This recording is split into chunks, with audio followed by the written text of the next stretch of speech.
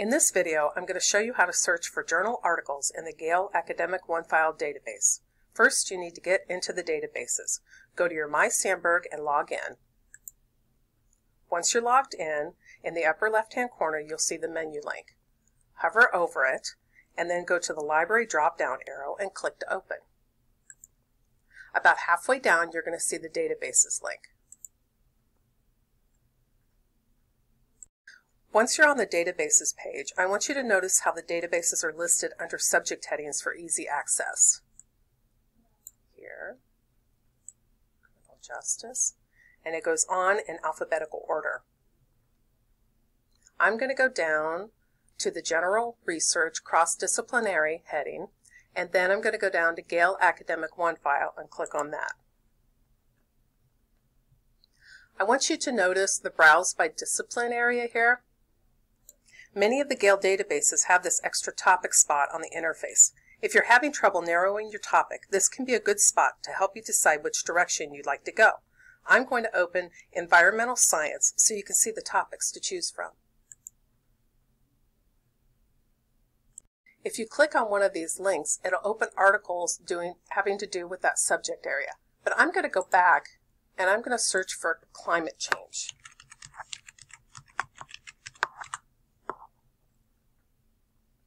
As you can see, this search created a lot of results, over 94,000 hits.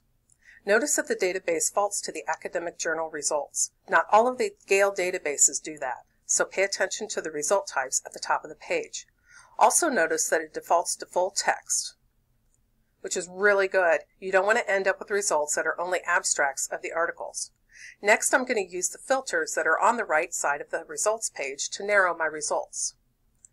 The first thing you'll want to do is open the document type filter. See how many other document types there are in this search. I don't want to use book reviews, editorials, or any of the other documents listed here. I'm going to click on the box next to article, then click on apply at the bottom of the menu.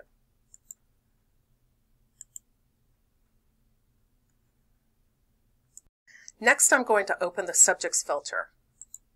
Notice there are a variety of topics related to climate change to choose from. I'm going to choose Water Resources from this list.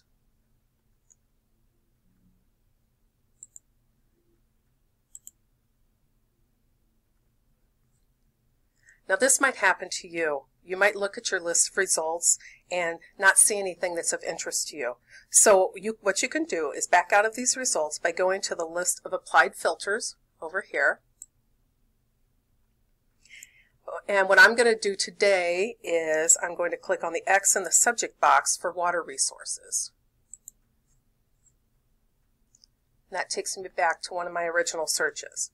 But this also gave me an idea. I think I want to look at resources about how climate change is affecting our Arctic oceans.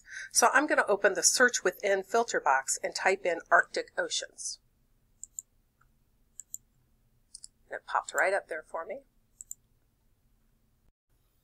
Next, since this search is science related, I only want to get articles from the last five years. So I'm going to go to the filter your results and go to the date published and do the custom date range. I'll click on the calendar icon, choose 2014, then I'll click a date, then I'll go to the next icon, click a date again, then I'll click on apply.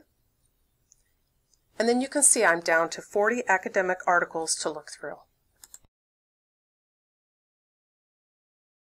In the next video, I'll show you the tools to help you print and cite an article in a Gale database. This was just a quick overview of searching in a database. If you would like additional assistance, call, email, use the Ask a Librarian form, or stop by the library.